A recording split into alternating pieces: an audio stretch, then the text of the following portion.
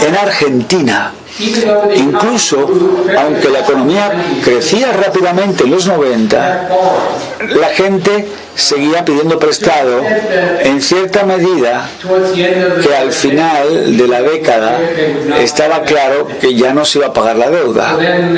Entonces eh, fueron al gobierno eh, central y entonces hubo que rescatar a estas provincias y vino este efecto que conocemos eh, de, de y, y hubo el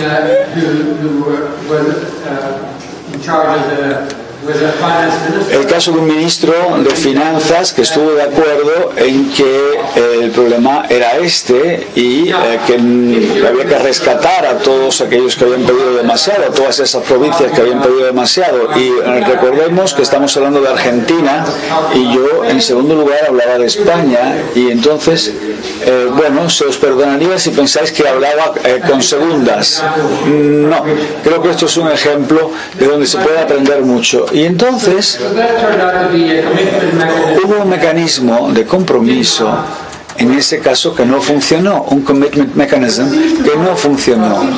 Lo que parece haber funcionado en algunos países y bien es el hacer que los bancos centrales sean independientes y entonces de esta forma hay política monetaria más, digamos, benigna, más transparente, más predecible y de esta forma se intentaba aislar a los bancos centrales de las políticas eh, y hacerles independientes. Y el Bundesbank en Alemania era como el maestro de la predictibilidad, de lo que se podía predecir en cuanto a transparencia. Y el Banco Central norteamericano ha sido, ha sido, eh, digamos, muy bueno, no tan lejos del alemán.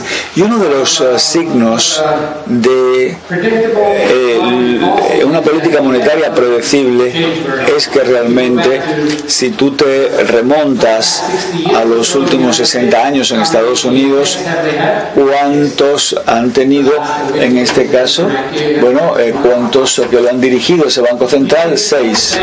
Y entonces, si tomas un Banco Central que no es independiente del resto del gobierno, esto, como en Argentina, en Argentina yo me remonto al 45, que es el periodo de 67 años, donde analicé el número de presidentes del Banco Central argentino y había 54 presidentes, 54 presidentes del Banco Central argentino, como media, cada uno estuvo pues un año y un trimestre, es como mucho.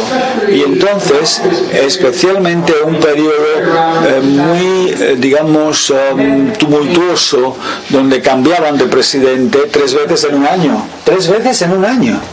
Y entonces se puede haber oído hablar del último cambio, ¿no? Que ha tenido lugar ahora un par de años. Cristina Fernández de Kirchner eh, quería simplemente meter mano a las reservas del Banco Central y entonces el presidente decía que no y se oponía. El que entonces era presidente. ¿Y qué ocurrió? Lo cesaron. Lo cesaron y hubo un nuevo presidente que aceptó y Cristina metió mano en las reservas federales del Banco Central Argentino.